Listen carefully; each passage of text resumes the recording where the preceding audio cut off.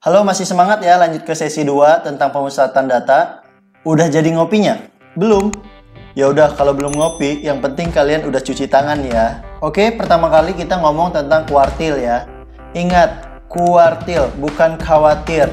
Khawatir itu cukup dengan kondisi dompet kita di akhir bulan ya. Garing banget ya. Oke, lanjut ya. Nah, kuartil di sini diartikan sebagai nilai-nilai yang membagi data yang telah diurutkan menjadi empat bagian yang sama. Jadi secara konsep dalam kuartil, suatu gugus data ada tiga kuartil, yaitu kuartil 1, kuartil 2, dan kuartil 3. Jadi kalau digambarkan dalam garis lurus, kuartil itu posisinya kayak gini. Tiga kuartil membagi empat bagian gugus data yang sama. Kemudian, untuk menentukan letak dan nilai kuartil, langkah-langkahnya yang pertama, susun data tersebut menurut nilainya. Kedua, tentukan letak kuartilnya. Setelah tahu letak kuartilnya, baru kita tentukan nilai kuartilnya. Kita lanjut ya, ada dua rumus mencari kuartil. Pertama, untuk data tidak dikelompokkan, dan yang kedua, untuk data dikelompokkan. Nah, di sini keterangannya bisa kalian baca sendiri dan perlu kalian ingat-ingat. Jadi kalau lihat rumus kayak gini, pasti kalian bakal bingung kayak apa nih cara gunainnya. Kita lanjut aja deh ya ke contohnya. Pertama, kita ke contoh kuartil untuk data tidak dikelompokkan. Misal, ditanya letak dan kuartil Q1, Q2, dan Q3 dari data sebagai berikut 35, 40, 70, 80, 91, 50, 61, 25, dan 95. Nah, cara penyelesaiannya yang perlu kalian lakukan pertama kali yaitu jadi sesuai dengan langkah-langkah yang disebutkan pada slide sebelumnya. Langkah pertama kita mengurutkan datanya dari yang terkecil sampai yang terbesar. Jika sudah diurutkan dari yang kecil hingga yang paling besar, maka datanya akan seperti ini. Berikutnya, langkah kedua yaitu menentukan letak kuartil. Letak kuartil Q1, Q2, dan Q3.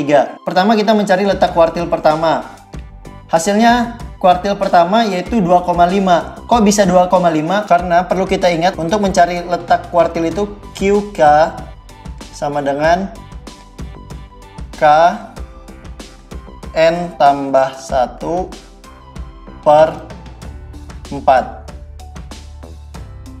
di mana K adalah kuartil 1, 2, dan 3 dan N adalah banyak datanya. Jadi karena yang pertama ini kuartil pertama maka ini 1 kemudian jumlah datanya jumlah data ini ada 9 maka kita buat 9 dan satu sudah ketetapan kemudian dibagi 4 sesuai dengan rumus ini maka letak Q1 itu adalah 2,5. Kemudian letak Q1 itu berarti 2,5 berada di antara 2 dan 3. Di sini Q1.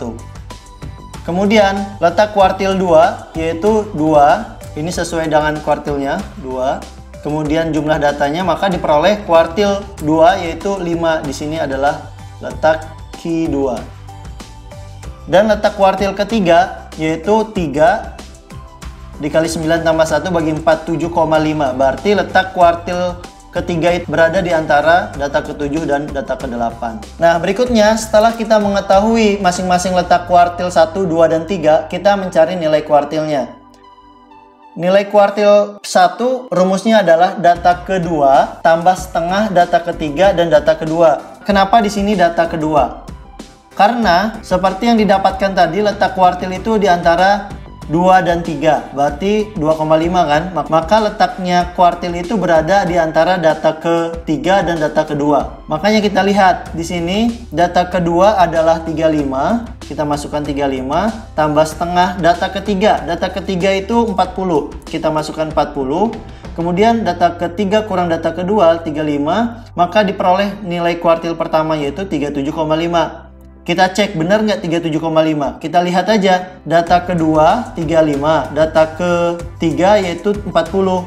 Berarti 37,5 pas di sini ya. Berarti benar. Kemudian kalau untuk kuartil kedua adalah 61. Kebetulan di sini letak kuartil tepat berada di data kelima 61. Berikutnya nilai kuartil ketiga. Kenapa di sini data ke-7? Karena tadi di sini 7,5 berarti di antara 7 dan 8. Data ketujuh di sini 80 kita masukkan ke sini kemudian tambah setengah kali data ke-8 data ke-8 adalah 91 masukkan saja 91 dikurangi data ketujuhnya 80 maka diperoleh nilai kuartil ketiga itu 85,5 kita cek benar nggak nih yang kita dapatkan? Benar nggak 85,5 ini berada di data ke-7 dan data ke-8 kita lihat data ke-7 ini 80 kemudian data ke-8 91. Berarti benar dong 85,5 berada di 80 dan 91. Letak dan nilai kuartil sudah kita peroleh dengan benar. Gimana? Udah ngerti ya sejauh ini? Eh, tapi ini belum jauh loh. Masih kuartil. Dan itu pun baru data tidak dikelompokkan. Jadi masih semangat kan ya? Kita lanjut. Masih tentang kuartil, tapi ini contoh data yang dikelompokkan. Di sini ada tabel yang kalian diminta untuk mencari nilai dan letak Q1, Q2, dan Q3. Nah, kalau untuk mencari data yang dikelompokkan, langkahnya berbeda. Karena di sini kalian tidak perlu melakukan pengurutan data. Tinggal langsung aja cari letak kuartilnya dengan menggunakan rumus K per 4 kali N. Jadi kalau untuk letak kuartil pertama yaitu seperempat karena kuartil 1 1 per 4 kali 80 maka didapatkan 20 Q2 berarti 2 dibagi 4 kali 80 dapat 40 dan letak kuartil 3 adalah 3 per 4 kali 80 maka diperoleh 60. Berikut tinggal kita nyari nilai kuartil dengan rumus berikut. Tapi ingat dulu nih ya di sini K adalah kuartilnya 1, 2, 3 kemudian B1, B besar ini B1 besar ini adalah batas bawah kelas yang mengandung QK kemudian I panjang kelas atau interval kelas CFB ini adalah jumlah frekuensi sebelum kelas yang mengandung QK, FQ adalah kelas yang mengandung QK, dan N adalah banyaknya observasi. Nah, setelah kita memperoleh letak Q1, Q2, dan Q3, kita lihat dulu Q1, Q2, dan Q3 itu pada tabel masuk dalam interval kelas berapa. Ini Q1 adalah 20. 1 tambah 2, 3, 3 tambah 5, 8, 8 tambah 15, 23. Berarti Q1 berada di sini. Ini Q1. Kemudian 23 tambah 20 sama dengan 43. Berarti di sini udah masuk ke kuartil kedua. 43 ditambah dengan 25 sama dengan 68. Berarti sudah masuk di sini kuartil ketiga. Nah, ini letak kuartil Q1, Q2, dan Q3 pada tabel. Setelah kita menandai, kita masuk ke cara menghitung nilai kuartil. Pertama untuk nilai Q1. Nah, di sini diperoleh 60,5. 60,5 yaitu B1. B1 yang besar adalah batas bawah kelas yang mengandung QK. Berarti ini batas bawahnya adalah 61.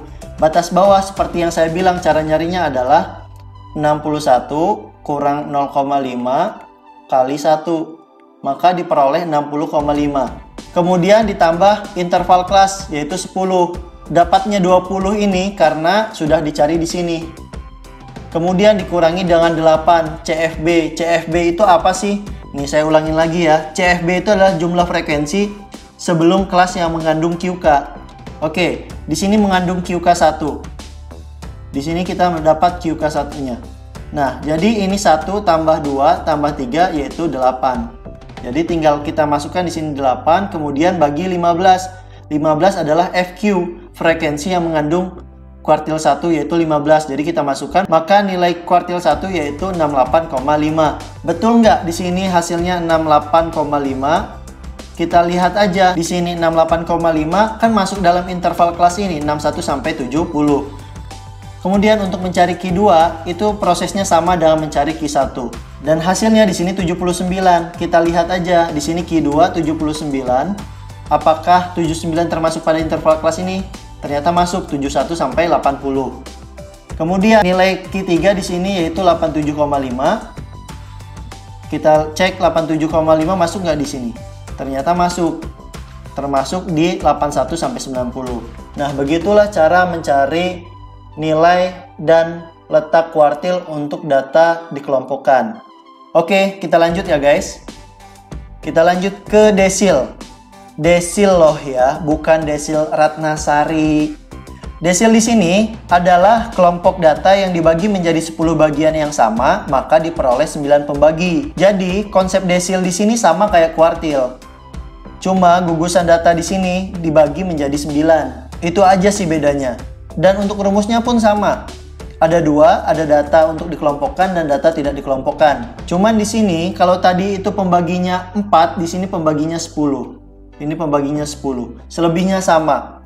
Kenapa di sini 10 dan di sini 10?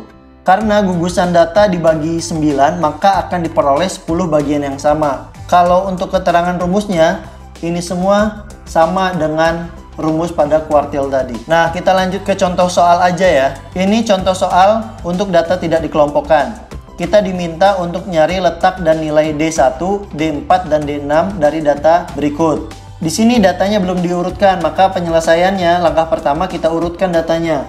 Dari yang paling kecil 25 sampai terbesar adalah 90. Jadi di sini ada 13 data. Kemudian kita mencari letak desil. Letak desil kedua yaitu D2.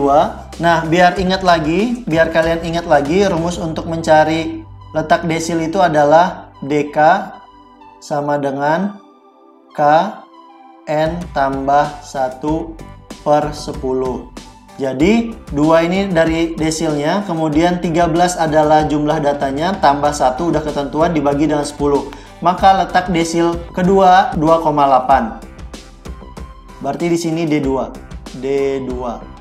Kemudian, untuk letak D4, tinggal ganti aja ininya menjadi desil keempat. Kemudian, maka diperoleh letaknya adalah 5,6. Berarti 5,6 berada di sini, desil keempat. Kemudian letak D6 berada di 8,4 berarti di sini antara 8 dan 9 D6. Setelah itu, setelah kita mengetahui letak desilnya, kita mencari nilai desilnya.